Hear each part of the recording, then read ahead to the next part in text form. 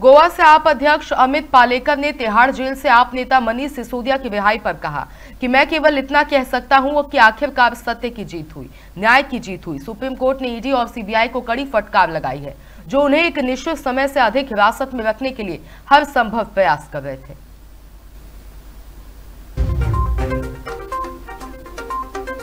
Only thing that I can say is uh, finally truth prevails, justice prevails. What the Supreme Court has uh, lived up to the expectations of people. Supreme Court has come down uh, heavily on uh, Enforcement Directorate and CBI, which are making all efforts to keep him in custody beyond uh, a particular time. It's nearly about uh, 17 months that he has been in custody and in a pre-trial. So you know it is very rare to hear that in a pre-trial custody the being opposed, the bails are being opposed by the by the ED and CBI. They tried all their tricks, whatever that they could do, possibly they could achieve to to keep him in custody, probably with an intention that the elections are coming close uh, close by in Delhi. But I think Supreme Court has now come to a conclusion that this is these are political arrests. Supreme Court has come down heavily on the authorities, on the on the enforcement directorate as well as on CBI.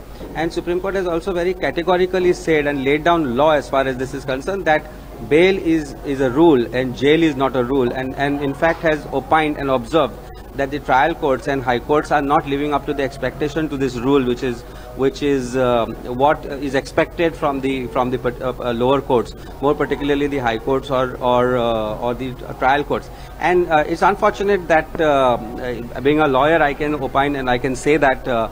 Uh, there are judgments which have been laid down from the time of 1989, from the year 1989, and which have been classic judgments. But of late, uh, using the tool of enforcement directorate and using the tool of M uh, Money Laundering Act, a lot of political arrests are made and they are kept in jail. And mostly, if you see Money Laundering Act, the the uh, the act is applied only in political cases and not particularly in actual cases which don't end, uh, meet the ends of justice. So and we have also seen when the trials have commenced when the trials have concluded that there is no conviction at all in money laundering cases. So i think uh, supreme court is now living up to expectations of people and the faith in judiciary is being achieved.